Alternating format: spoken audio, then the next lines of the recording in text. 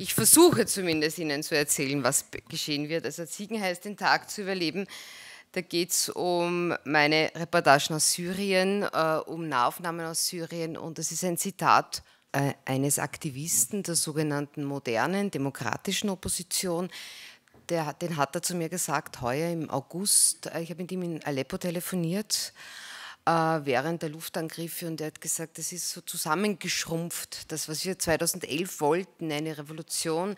In erster Linie ging es ja da nicht um den Sturz des Regimes oder des Präsidenten Bashar al-Assad. Da ist es ja eigentlich um große Begriffe wie Würde, Menschenrechte und auch Rechtsstaatlichkeit gegangen. Das sind ganz, ganz wichtige Themen, die ich meine, eine sehr große Rolle auch bei der sogenannten Flüchtlingsbewegung spielen. Ich tue mir da beim Begriff Welle ein bisschen schwer, weil ich seit, äh, seit wie lange jetzt? Seit ungefähr 20 Jahren Kriegs- und Krisenreporterin bin, sehr lange auch bei News und beim Kurier und bei internationalen anderen Medien. Ich habe wesentlich Schlimmeres erlebt. Also wir sehen zum Beispiel jetzt noch 1,4 Millionen Menschen, die aus Afghanistan nach, in den Iran geflohen sind, 1,9 Millionen nach Pakistan. Also ich bringe Ihnen gleich einige Zahlen. Das, was wir erlebt haben, ist eigentlich im globalen Vergleich sehr gering, aber es hat uns an Grenzen gebracht und ich denke, das muss man ernst nehmen. Und äh, was ich hoffe und was ich auch versuche mit diesem Vortrag Ihnen ein bisschen vor Augen zu führen, ist, den Blick von der Krise zur Chance zu wenden. Das ist ein Allgemeinplatz, man bemüht damit immer ein chinesisches Schriftzeichen. Aber ich glaube, dass sowohl dieser sehr schwierige Syrien-Konflikt mit all seinen verheerenden Konsequenzen für uns birgt, birgt ziemlich, ziemlich große Chancen. Was ist passiert? Es sind in Syrien seit 2011 die Zahlen der Opfer immer mehr gestiegen. Das hat begonnen eigentlich mit 10.000, 20.000 Toten. Ab 2014, ab einer Veränderung des Konfliktes, Frau Ratzenböck, losen Sie es einfach. Es ist gescheit, das irritiert mich nur und die, und die Zuhörer. Machen wir es einfach. Ich versuche es auswendig. Sie, ich glaube, wie, wie, Syrien ausschaut, haben Sie irgendwann schon mal gesehen. Ähm, was was ist 2013, 2012 passiert? Man hat ja schon vorher die Revolutionen erlebt in Ägypten, in äh, Libyen, in Tunesien, in Bahrain, natürlich auch in Jemen. Man hat geglaubt, das lässt man einfach sich selbst über. Weil die Erfahrungen, die wir gemacht haben, also ich habe aus den Konflikten aus Ägypten und ganz besonders aus Libyen berichtet, im Umgang mit diesen Revolutionen haben uns eigentlich vor unlösbare Probleme gestellt. Mit uns meine ich jetzt einmal die internationalen Ver äh, Verantwortlichen in den Staatskanzleien der EU und den USA. Man gab Ländern die Freiheit, die uns eigentlich, ich formuliere es jetzt ein bisschen überzogen, eigentlich ein Jahrzehnt erpresst haben. Weil was war 2001? 2001 gab es die, Anschläge der Al-Qaida auf das World Trade Center. Und damals schien, und das ist ja heute noch schlimmer als je, je zuvor, islamistischer Terror ist die ganz große Bedrohung. Die Langzeitpräsidenten und wie es ja immer sich tituliert haben, Muammar Gaddafi, Oberst Muammar Gaddafi, nennen wir sie Machthaber unterschiedlicher Diktaturschattierungen, haben in diversen internationalen Konferenzen zugesagt, wisst ihr was, wir garantieren euch Stabilität. Stabilität ist das politische Zauberwort, die harte politische Währung gewesen. Wir, unsere Staats- und Regierungschefs und auch die der USA haben diese Stabilität in Kauf genommen, für diese Stabilität das Verletzen von Menschenrechten in Kauf genommen. Man hat gefürchtet, wenn es freie Wahlen, wenn es freie demokratische Zustände im Nahen Osten gäbe, dann würde möglicherweise islamistische Gruppen wie die Muslimbruderschaft an die Macht kommen. Und genau das ist passiert. In dem, bei den ersten freien Wahlen in Ägypten im Ende Dezember, Anfang Jänner 2012 und dann später bei den Präsidentenwahlen, da gewann überwältigend die islamistische Muslimbruderschaft. Eigentlich hat es eine Zweidrittelmehrheit für den Islamismus gegeben, 48 Prozent für die Partei der Muslimbruderschaft für Freiheit und Gerechtigkeit und dann noch 25 Prozent für eine Salafistenpartei. Also plötzlich war ein, es ging ein Rucken durch, durch die Staatskanzleien. Dürfen die, die überhaupt frei sein? Kommen denn dann nicht jene an die Macht, die eigentlich für den für uns so gefürchteten Terror verantwortlich sind? Nehmen wir Ayman al-Zawahiri, den derzeitigen Chef der Al-Qaida. Ayman al-Zawahiri als junger Mann, Student in Kairo, wollte Kinderarzt werden, tritt der Muslimbruderschaft bei. Geht 1965 ähm, für die Muslimbruderschaft ins Gefängnis, wird dort radikalisiert. Wir erleben ja unter Nasser die erste große Repressionswelle gegen die Muslimbruderschaft. Ab den späten 50ern bis 70, bis er stirbt. Was passiert in Haft? Tausende werden ermordet. Ayman al-Zawahiri und, und Al-Qut, ein neuer Führer der Muslimbruderschaft, gründen aus dem Gefängnis heraus die Bewegung des internationalen Dschihads, als die Muslimbruderschaft und dann, als Assad ab 1970 wieder erlaubt wird, so quasi Guido Westerwelle hat es einmal so formuliert, man könnte hoffen, dass sie aus der Muslimbruderschaft einmal eine CSU wird. Die Hoffnung hat sich nicht erfüllt. Er hat es in Tunesien nach den ersten Wahlen geäußert. Also die Muslimbruderschaft oszilliert zwischen dem Idealzustand CSU, ich lasse dahingestellt, ob die CSU ein Idealzustand ist, aber ich glaube, innerhalb des demokratischen Rahmens sehr wohl, ja, wird man uns freuen. Ah, und der Al-Qaida. Das ist eine sehr, sehr große Spannbreite, die sie abdeckt. Und dann passiert politisch was total Faszinierendes, das wir eigentlich nur aus der Physik, aus der Heisenbergschen Theorie kennen. Wie wir diese Bewegung beobachten, so reagiert sie auf die Beobachtung. Das heißt, je repressiver man vorgeht, je mehr, man sie bedrängt, desto radikaler wird sie. Ayman al-Zawahiri einst Muslimbrüder, schwört der Muslimbruderschaft ab und wird Chef der Al-Qaida. Also es ist ein wahnsinnig schwer zu fassendes Gebilde, das dann die Macht kommt. Auch eine Partei der Muslimbrüderschaft gewinnt die Wahlen in Tunesien. Für uns gar nicht so bemerkt, der marokkanische König Mohammed führt sofortige Reformen durch, um eine Revolution in seinem Land zu verhindern. Auch hier gibt es Neuwahlen im November 2011. 2011. Auch hier kommt die Muslimbruderschaft an die Macht, regiert bis zum heutigen Tag und in Syrien zeigt sich, dass dieser Aufstand rasant dazu führt, dass bewaffnete Gruppen im Spektrum der Muslimbruderschaft an, Macht gewinnen. Die sogenannte moderate Opposition, die Mainstream-Revolution, die aus den äh, Aufständen ab März 2011 gegen Bashar al-Assad herauskommt, diese Gruppe steht im Spektrum der Muslimbruderschaft. Und da beginnt es kompliziert zu werden. Weil anders als das homogene Ägypten, das homogene Tunesien, ist Syrien ein, ein Vielvölkerstaat oder ein Zweivölkerstaat, wenn man die armen Turkmenen, die nur eine kleine Minderheit ausmachen, auslässt und sich nur auf 10% Kurden, 90% Araber konzentriert. 23 Millionen Einwohner haben wir 2011, davon sind hier wird es ganz kompliziert, ungefähr 20 verschiedene Religionsgruppen zu beobachten. Sehr viele davon sind die unterschiedlichen christlichen Kirchen. Grosso modo haben wir es mit 70 Prozent Sunniten, ungefähr 12 Prozent Christen und Alawiten zu tun und dann noch einige andere Gruppen. Also hier geht es ein bisschen komplizierter. Und hier ist das große Problem, dass die syrische Muslimbruderschaft bereits seit den 1980er Jahren striktest verboten ist, die Mitgliedschaft mit dem Tod bestraft wird. Und das kam von einem ersten Aufstand gegen das Regime der Assads bereits in den späten 70er und frühen 80er Jahren, wurde brutal niedergeschlagen mit der Ausradierung der Stadt Hama, 30, 40.000 Tote. Die Stadt Hama liegt in Zentralsyrien. Als jetzt die Revolution auch auf Syrien überspringt, nach Tunesien, nach Ägypten, nach Libyen mit dem 11. März 2011, da beginnt dieses Syrien, das auch seine Stabilität uns äh, verkauft hat mit der Machthaber Assad. Solange die Assads an der Macht sind, ist, ist, Syrien äh, stabil. Bis zum heutigen Tag klingt es ja immer wieder so. Wenn man den Assad wegnimmt, oh mein Gott, was passiert denn dann? Großartig. Muammar Gaddafi, dem ist es gelungen, äh, G8-Gipfel in L'Aquila 2009, der Stadt, wo das Erdbeben war. Muammar Gaddafi wird zurück in die internationale Gemeinschaft geführt. Sanktionen gegen Libyen werden gestoppt. Warum? Weil Muammar Gaddafi sagt, eine Million Menschen aus Subsahara-Afrika sitzen in Libyen und warten darauf, überzutreten nach Europa. Ich garantiere, dass die nicht kommen. Ja, so viel Geld hat er gar nicht nehmen können, wie man ihm angeboten hat, damit die bleiben. Ja? Also wir haben hier zwei Zauberworte. Kampf gegen Terrorismus, Kampf gegen Migration. Beides wird von den undemokratisch regierenden Machthabern uns versprochen. Und dann werden die durch demokratische Revolutionen beseitigt, einer modernen, säkularen Elite, ganz stark von Frauen. Und was passiert dann? Terrorismus und Massenmigration. Eigentlich genau das, wovor wir uns gefürchtet haben. Das erlebe ich momentan als die große Wertekrise zwischen beiden Re Regionen. Wir haben sozusagen gelernt, dass Stabilität, der Schutz von Grenzen, das Abschotten von Grenzen uns schützt. Und wir haben gelernt, dass es tatsächlich so ist, wenn wir mit undemokratischen Machthabern äh, internationale Vereinbarungen schließen, dass die halten. Denn die Anschläge in Europa haben sich massiv verschärft. Sie sind nicht erfunden worden 2011, aber sie haben sich verschärft. Das heißt, der logische politische richtige Weg wäre, genau das zu tun, das Regime Assad zu schützen und unsere Grenzen abzuschotten. Aber das ist ein verheerender Weg, der langfristig dazu führen wird, dass ein Pulverfass explodiert. Ich gebe Ihnen ein Beispiel dafür. Das sehe ich nicht politisch oder auch nicht parteipolitisch oder sonst irgendwie, rein faktisch. Also, die Balkanroute ist geschlossen, wir haben einen Deal mit der Türkei. Hätte ich jetzt Folien, würde ich Ihnen gerne eine zeigen über die Flüchtlinge aus Syrien, die in der Türkei sind.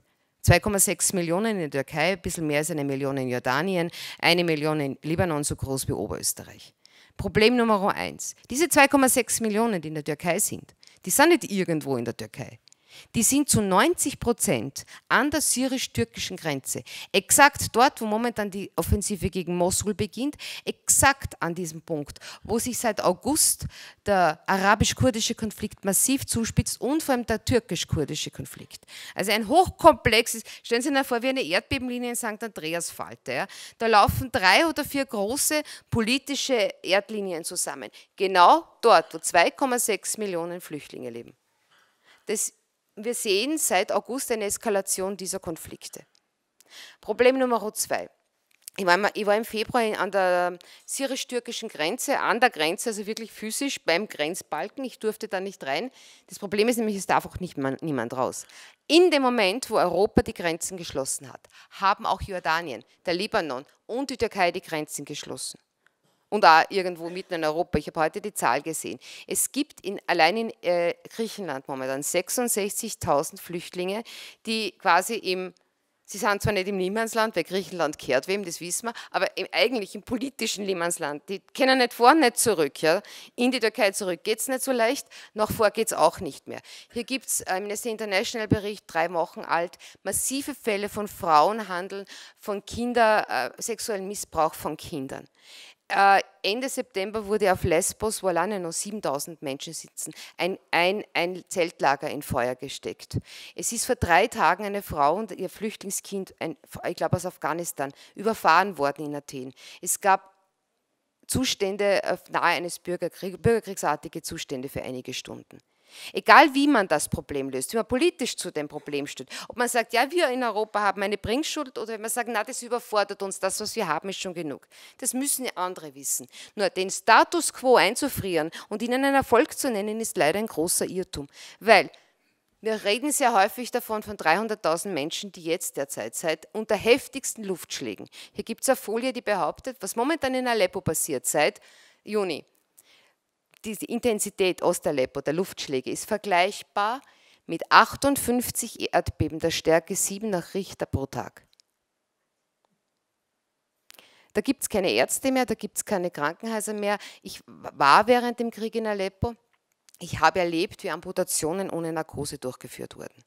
Also ich habe ein, ein junges Mädchen gesehen, das ein, äh, von einer Fassbombe einen Splitter in der Leber hatte, wo es keine Antibiotika mehr gab. Ein Arzt hat zu mir gesagt, wir geben Aspirin, wenn wir ein Bein abschneiden müssen. Wir haben hier das riesengroße Problem, ich schweife mal kurz von der Flüchtlingsproblematik ab. Wir haben drei Millionen syrische Kinder. Die sind geboren, nachdem der Krieg ausgebrochen ist und mittlerweile eine halbe Million ähm, Tote. Aber das noch größere Problem, verzeihen Sie mir, dass ich so zynisch bin, sind die Überlebenden. Es ist nämlich so, dass wir wahrscheinlich eine verkrüppelte Generation haben. Ich habe mir sehr schwer getan. Ich habe mit einem amerikanischen Kinderarzt über dieses Begriff verkrüppelt gesprochen, crippled auf Englisch. Der hat jetzt drei Wochen in Aleppo gearbeitet. Er musste pro Tag bei zehn Kindern Amputationen durchführen. Das ist ein sehr belastetes Wort, aber es ist leider präzise. Wir haben uns selber schwer getan, ob ich das in einem Interview mit ihm machen kann. Es gibt keine Rehabilitation für diese Kinder. Es gibt keine Prothesen für diese Kinder. Es gibt diese Kinder, sagt der Arzt zu mir, haben nie Normalität erlebt, nur Gewalt. Dann haben wir einen, einen wenn wir bei den Kindern kurz bleiben, die, die Hälfte Syriens, territorial, nicht Bevölkerung, so Unterschied, ist vom Islamischen Staat seit Juni 2014 eingenommen. Das ist eine lange Zeit, bei drei Jahren. Diese Kinder gehen in Schulen, die nach einem irrwitzigen islamistischen äh, äh, Lehrplan geführt werden. Acht Millionen Menschen leben dort. Jetzt rechnen Sie ungefähr Daumen mal Bier, wie viele Kinder das sind. Da haben wir noch die Kinder überall anders, die, die in Aleppo, in Damaskus unter der Kontrolle des Regimes, sich zu Tode fürchten vor dem Fremden, dem anderen. Denn diese drei Volksgruppen, die ich beschrieben habe, sind einander fremd und feind geworden. Das andere, es gibt Kinder, die wachsen in, in Dareia, in einer, in einer Vorstadt von Damaskus auf, das ist ungefähr so weit weg wie, na, was nehmen wir denn? Traun, ja, von Linz, die haben noch nie den Dom gesehen. Stellen Sie sich einmal vor, ein sechsjähriges Kind aus Traun, das noch nie den Dom gesehen hat. Aber jetzt stellen Sie sich noch einmal was anderes vor. Verzeihen Sie, Herr Stelzer. Die Landesregierung Oberösterreichs würde in Moskau aufgetreten sein. Ich unterstelle Ihnen das in keiner Sekunde. Ich versuche nur, nur zu vermitteln, wie schrecklich das ist, was dort passiert. Und hätten die Delikatessen Oberösterreichs gibt es keine Sanktionen, wäre das ja durchaus ein denkbares Szenario, bei der Lebensmittelmesse in Moskau präsentiert, mit den Feinsten, was Oberösterreich zu bieten hat. Während die Kinder in Traun Hungerbäuche hatten und 120 Menschen aus Hunger starben, weil die syrische Regierung die Vorstädte abschottet. Also ich glaube, bei uns, es, es ist unvorstellbar, wenn man sich das einmal runterbricht. Darum ein drittes Mal entschuldigen Sie bitte, dass ich Sie persönlich genannt habe. Aber dann versteht man, glaube ich, geht es dann erst in Fleisch und Blut über, was das eigentlich für die Menschen bedeutet.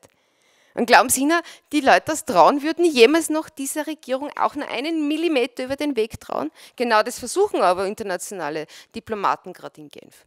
Das heißt, wir haben hier unterschiedlichste Formen der Traumatisierung, der Angst vor dem Fremden.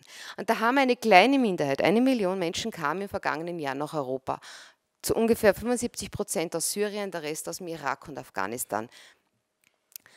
Da haben wir also Menschen, auch viele bei uns, 85.000 Asylanträge in Österreich, ich Daumen mal Pi sind das wahrscheinlich 40.000 Syrer und Syrerinnen. Die Kinder, die da jetzt geboren werden, diese Menschen, die hier leben, die erleben einen Rechtsstaat. Die erleben, dass der Herr Stelzer nie im Leben nach Moskau fahren würde zu einer Lebensmittelmesse, während der Traun aushungert.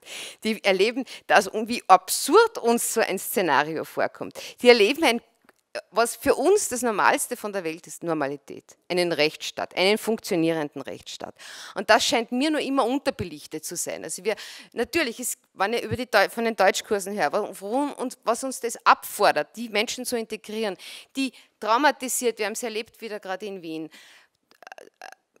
erschrocken von dem Krieg kommen, ja, mit einem hohen Bildungsniveau, aber von dem nichts mehr übrig ist, weil sie nur noch von Angst zerfressen sind, nur Überlebenskampf kennen. Das ist eine gigantische Herausforderung und jeder, der denkt, ach, das ist easy und schubidu, das machen wir einfach so mit links, irrt sich. Ich habe der Frau Ratzenberg vorher erzählt, ich bin seit, eben seit 99 in allen Krisen- und Kriegsgebieten, als ich in Koller Schlag gestanden bin im Oktober, war ich sehr irritiert. Ja. Da war Aleppo, da war Damaskus, da war, da war Kabul und ich, Freunde, ich habe euch alle in den vergangenen zehn Jahren besucht und jetzt seid ihr alle da. Und wenn man weiß, wie viele, ich sage es einfach einmal ganz plakativ, dort sind, dann wird einem bang, auch mir. Obwohl ich mich sehr darüber freue, dass es uns gelingt, unseren Reichtum ein bisschen mit diesen Menschen zu teilen. Und ich formuliere das sehr bewusst so positiv. Aber wir sehen also Chancen. Jetzt kommen wir zurück zu den geschlossenen Grenzen, zu den 300.000 Menschen aus Aleppo, mit denen ich begonnen habe. Ui, da gibt es Aufrufe. Und unsere Bundesregierung sagt, wir spenden da jetzt zwei Millionen oder Milliarden. Es ist irrelevant. Weil es kann niemand nach Aleppo. Und was noch viel schlimmer ist, diese Menschen können aus Aleppo nicht fliehen weil es uns nicht gelingt, eine politische Lösung zu finden für den Konflikt. Weil dieser Konflikt, weil wir geglaubt haben, Jetzt komme ich wieder zu 2012 und zu Jesus Maria, da kommen die Muslimbruderschaft an die Macht und wir wissen jetzt nicht, ob uns nicht der Assad lieber wäre.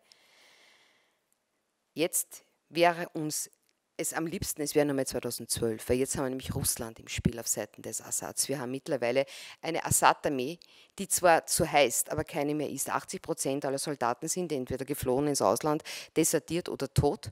Die Bodentruppen der Assad-Armee bestehen aus ungefähr sechs verschiedenen republikanischen Garden des Irans und der Hisbollah-Miliz. Nur zur Information, laut US-Gesetz, nicht EU, auch eine Terrororganisation. Also Terror ist mittlerweile auf beiden Seiten vertreten. Die moderate Opposition, die ausgehungert wurde, besteht mittlerweile, gibt es nur mehr, weil die Al-Nusra-Front, die sich jetzt mittlerweile umgetauft hat, Al-Qaida-Gruppe ist. Das heißt, nichts zu tun, wegzuschauen, hat genau wohin geführt. Dass wir vor den massivsten politischen Problemen stehen, eigentlich seit, seit Beginn der Zweiten Republik. Diese 100.000 Menschen, die Daumen mal die gekommen sind, scheinen unsere Gesellschaft tatsächlich spalten zu können. Das lassen wir zu. Und das zeigt eigentlich, wie fragil noch unsere Demokratie 60 Jahre nach dem Krieg. Da soll man nicht ungerecht sein mit den Menschen, die sich noch schwer tun damit. Es hat dazu geführt, dass die EU in einer beispielslosen Krise gelandet ist. Der Brexit war nur deshalb möglich in dieser Form, in diesem Ausgang, weil die Angst vor Einwanderung bestanden hat. rechtsradikale Parteien von Ungarn bis Frankreich, auch in Österreich und in Deutschland, die massiv wie die ADF zuletzt bei den Wahlen in Berlin an Stimmen gewinnt. Das heißt, dieser Syrien-Konflikt, was hat der mit uns zu tun? Es ist eine brutale Lehre der Geschichte. Nichts zu tun, wegzuschauen, wenn nur gelitten wird, ist der absolut schlechteste Variante. Das ist so wie im richtigen Leben, ja, wenn mir was wehtut und ich sage, ah, das wird schon wieder, nein, es wird nicht, es wird im, Ideal, im schlimmsten Fall bleibt so gleich, wie es ist und im noch schlimmeren Fall wird es ganz, ganz schlimm. Das heißt, was uns fehlt, ist einfach der Mut zu proaktiver Außenpolitik, zu proaktiver Politik, dazu zu sagen, ja, das ist eine Chance und es ist nicht alles schwarz und weiß. Die, die Flüchtlingswelle, ich nenne es jetzt wieder so, ist nicht an sich gut und an sich böse. Es ist frei nach Frankel, das Leben stellt uns Fragen und wir sollten Antworten darauf finden. Und das sind unterschiedliche Antworten. Nur, was mir abgeht momentan, ist der Mut, sich diesen Antworten zu stellen. Ich werde oft gefragt, warum halten Sie das aus? Sie fahren von einem Krieg zum anderen. Also momentan schreibe ich ein Buch nach dem anderen, was schwerer auszuhalten ist für mich persönlich, weil es mir mehr anstrengt, zu Hause zu sein, als fortzufahren. Aber gut, ich werde alt und muss mich auch äh, neu arrangieren im Leben. Aber trotzdem fahre ich noch immer gerne in den Krieg. Aus einem Grund, ja weil es mir möglich ist, das Leben, so wie dies 2016 Realität ist, auch zu sehen. Das, was wir hier erleben, ist eine Insel, eine Blase des Wohlstands und des Reichtums, das so eigentlich weder nachhaltig im ökologischen noch im politischen Sinne ist. Mit diesen Flüchtlingen hat die Realität an unsere Tür geklopft. Und man kann jetzt die Hände über den Kopf zusammenschlagen und sagen, das ist alles so fürchterlich, was die Frau Ramsauer sagt. Da sitzen 2,6 Millionen Flüchtlinge an der türkisch-syrischen Grenze, die vielleicht auch noch kommen. Möglicherweise. Uns werden Antworten einfallen. Aber vielleicht gelingt es uns, aus dieser Krise heraus eben diese Chance zu sehen, nicht nur für die einzelnen syrischen Kinder. Diese, die hier sind, die sind das Humankapital, die Syrien einmal aufbauen werden. Da können wir 100 Trillionen US-Dollar sind nach Afghanistan geflossen, es hat nichts genutzt. Weil man braucht nicht Geld, sondern Humankapital. Das sind die Menschen, die jetzt hier bei uns sind und darum sind die eine gigantische Chance. Das lasse ich mir nicht nehmen und das lasse ich auch niemanden ausreden. Aber jetzt sind einmal sozusagen uns...